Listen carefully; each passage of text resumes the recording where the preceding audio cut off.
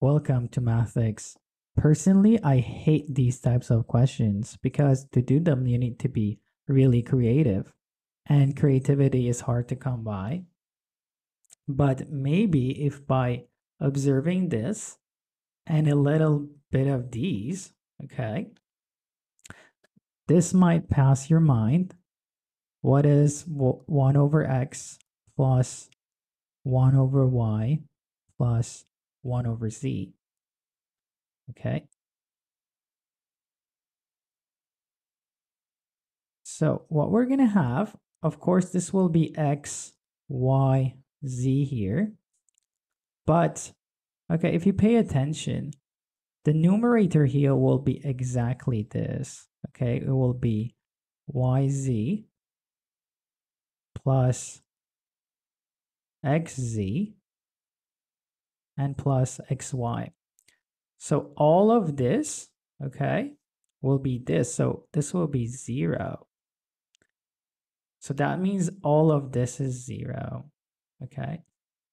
So I'm to go and add this here, 1 over x plus 1 over y plus 1 over z is actually 0. Okay, so how does that help?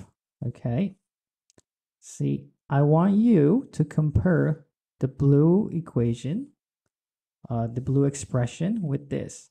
You see, we almost have this. You see, we have 1 over x, 1 over y, 1 over z. It's here. The problem is that we can't uh, take these out because they aren't the same. But if you pay attention more, you realize here is x is missing here. x is here. y is missing here. y is here. z is missing here. z is here. So again, creativity. So we could go and add a plus 1 to all of these, okay?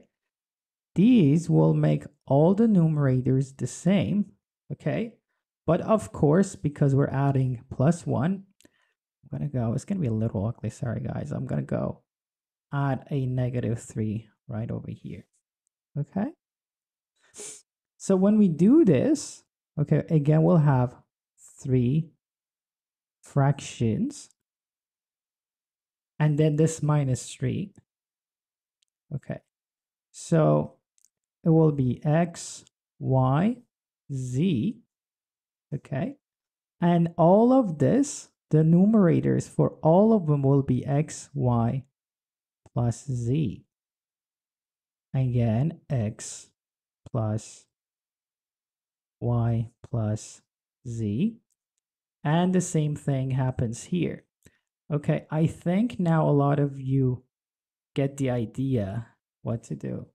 Okay, so I'm going to go and take out x plus y plus z, and then I'll be creating this. So if I do it, it will be x plus y plus z. Okay. It's the same among all terms. So what will be left is 1 over x plus 1 over y plus 1 over z. And we already know that this is actually 0. And this was also a minus 3. Okay, so if I go and call this a, this is a,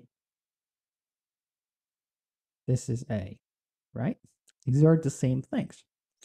And we know that this is 0. So x plus y plus z times 0 is 0. So we will be left with a negative 3. So a equals negative 3. Okay. If you found it useful, make sure you give it a like.